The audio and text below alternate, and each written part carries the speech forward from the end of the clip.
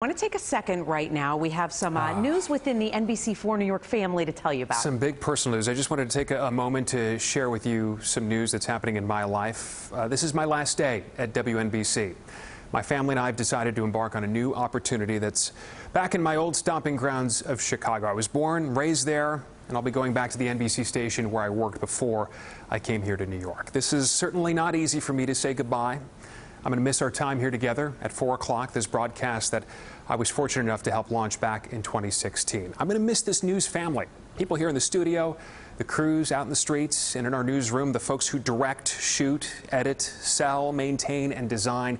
Everyone working their tails off day in and day out to gather the facts and to get us on the air. And boy, do we have fun here as well. To them and to you, I'd like to say thank you. Thank you for your trust, your loyalty. Thank you for reaching out with your well wishes on Instagram and Twitter. Thank you so much for these last four and a half years. It's certainly been part of a dream come true.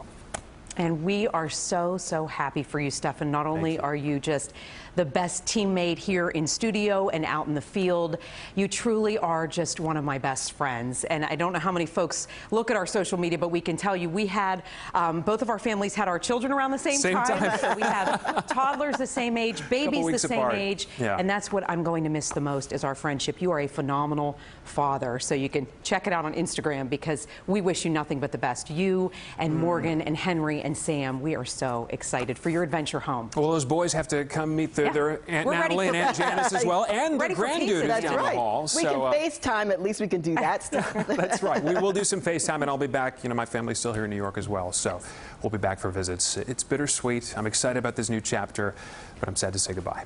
We are excited for you too. we miss you already, Stephanie. I'm going to miss you guys. All right.